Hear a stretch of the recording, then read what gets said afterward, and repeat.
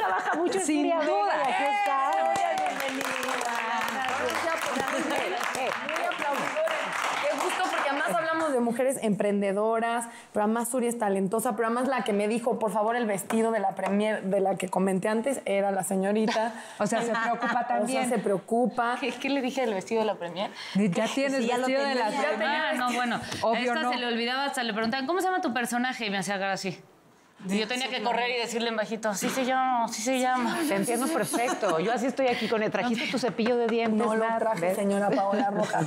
Pero lo que sí me acuerdo también en esa peli que compartimos era un día que eh, pues ella era la protagonista, llevaba una carga dramática bastante fuerte, me tocaban escenas eh, que me parecían muy complicadas. Yo no había actuado en siglos y yo la veía de- concentrándose y llegando preocupada porque tenías una niña eh, malita en casa y yo decía, qué complicado cómo balancear todo esto. Entonces también queremos que nos platiques eso, Zulia.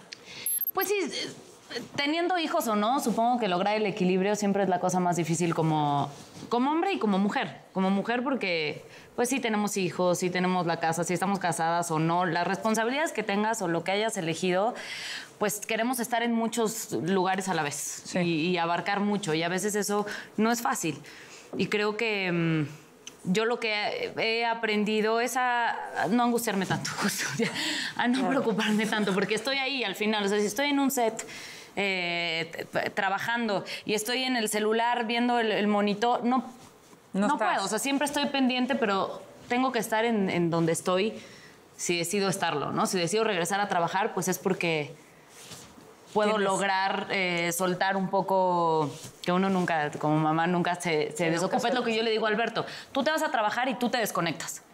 Te vas a tu set, como mamá es distinto. Porque como mamá no te desconectas, ya ahí se las ve, ¿no? Este, este, ya comieron, ya esto, Sí, ya claro, lo cualquier hecho. llamada de la casa, estás como pendiente, si algo está pasó, enfermo, sí. Pero también pues nos tenemos que relajar, porque si no uno este, vive en el rush y no acabas de disfrutar ni el trabajo, ni la casa, o estás en la casa y es, ay, ojalá estuviera trabajando. No. Si decides un rato de no trabajar, pues disfruta la casa, disfruta los niños, disfruta y ya si regresas a trabajar, pues también disfruta esa parte que como mujer, para mí, es importantísima. De acuerdo. Es que re- realmente la gente no, no tiene idea. eh, yo que también en algún momento le entré a la novela y los llamados, te citan 7 de la mañana, nunca sabes a qué hora vas a salir, grabas de lunes a sábado.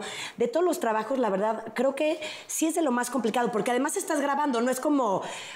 No sé, el contador, ¿no? Que, ay, la hace aquí, entonces revisa el chat con su mujer, o si Por cierto, si se le ofrece a los algo con- contadores que nos están viendo. Oye, A mi- los- mis dos papás son contadores, ¿eh? lo digo con mucho respeto. Este, papi hasta el cielo y mami en casita.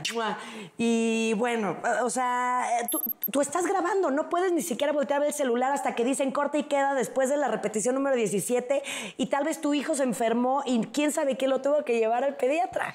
Pues yo creo que también las prioridades cambian, ¿no? Cuando uno, por decisión, eh, por eso creo que hay que, que decidirlo con mucha conciencia, el, el ser padres o madres, porque tu vida cambia y las prioridades cambian también. Yo los proyectos que aceptaba antes no los puedo aceptar ahora así nada más, ¿no? O sea, pues sí, la prioridad son mis hijos. Amo mi trabajo, para mí es sumamente importante y es una parte de Suria importantísimo, pero bueno, yo no me puedo meter de, de lunes a domingo ya en un foro, ¿me explico? Yo puedo trabajar de lunes a viernes. Pero y ¿sabes? O sea, también creo eso que- emprendiste, eh, porque además yo te sigo y te estoqueo en Instagram un montón. y ¿Por qué será, Ana? Emprendiste mamás, eh, como, como al final es una especie de blog, es contenido Me que encanta. tiene que ver con ser mamá. Pues mira, la verdad soy mamá, yo lo empecé como soy hormiguita trabajadora y entonces así de me voy a aburrir ahora eh, en este segundo pues embarazo. Y yo me he dado cuenta a lo largo de, de mis dos hijos que hay una falta de información brutal en las mujeres. Ajá. Las mujeres no tienen unas condiciones para maternar, para, para ser mamás trabajadoras, para terribles. Y me empecé a dar cuenta de eso por las preguntas. Ahora en el mundo de las redes sociales si hay algo padrísimo, es la in- inmediatez y, la respuesta con el público directa, ¿no? Entonces, las preguntas que me hacían, yo decía, sí, ¿cómo? ¿Cómo, no? ¿Por qué no, por qué no tienen este, esta información una chavita que a lo mejor este, va a ser mamá? Y me pasó el otro día en un café que fui a comprar un café y me dice una porque era una chavita eh, que, que salió embarazada y me dice, ay, qué padre, gracias a tu canal me informé de la lactancia y estoy haciendo mi banco de leche y trabajando. Entonces ahí yo digo, ya gané. Claro. y ese era mi objetivo, la verdad, poder desde mi experiencia de una mamá común y corriente, porque uno y eres actriz, pero somos mamás comunes y corrientes, me desesperan mis hijos, hay días que los quiero regalar, hay un agotamiento físico. Oye, pero en este país te linchan si dices eso. Además, y No, a todas las mamás nos pasa en algún Y momento. de eso se trata mi canal, de decir, Pero estoy ¿sabes muerta, lloro de cansancio muchas noches. Pero yo ahí sí no estoy de acuerdo contigo. Ah. Me parece, no coincido en que falte información. Yo creo que la información está. Está. ¿Qué quieres Pues sí, saber? Te aseguro pero- que lo encuentro aquí. Te lo aseguro. La información está. De hecho, hay una sobreinformación. En todo caso, hay gente desinformada. Creo que va al mismo Pero- punto que hablamos en netas casi cada programa y aunque sea repetitivo es real, que es que la situación de ser mujer en este país que está lleno de campañas de empoderamiento y de amate a ti mismo en eh, bases reales sigue siendo una desventaja.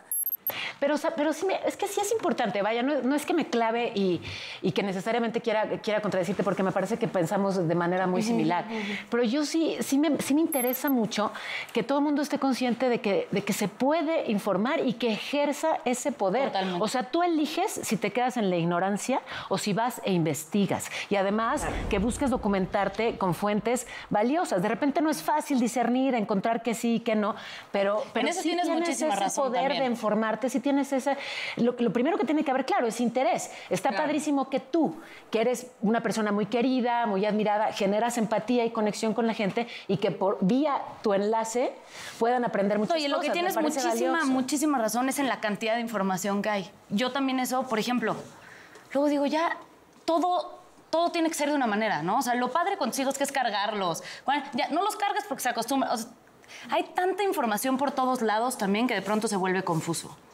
Entonces yo creo que también eso, o sea, se- elegir a quién sigues, a quién no sigues, eh, darle follow o leer el libro de quien tú consideres. Evidentemente la información está, pero también hay muchas creencias que trae- traemos arraigadas como sociedad y como mujeres que son muy difíciles de cambiar y que, y que a veces ni siquiera se cuestionan. ¿Cuál Y eso es es- lo preocupante. ¿me ¿Cuál es explico? una de ellas para ti que te, que te mueve mucho? Una que aparte yo he vivido eh, eh, como actriz, que uno pensaría que no en el 2019 ya no pasaría, es ser una mamá que trabaja. Claro. Enfrentarme a comentarios de compañeros actores, como decir, yo nunca me casaría con una mujer que empezara a trabajar cuando mi hijo tiene cuatro meses. Ya sé quién lo dijo. Y yo así, ¿te estás dando cuenta que, Que sí. yo- o llegar a la empresa y que cuando hay un guardia de seguridad hombre y yo voy con la carreola, el niño me dice, me revisa, pero no me abre la carreola así y me mueve el niño y cuando hay una mujer, saca al niño, despiértelo.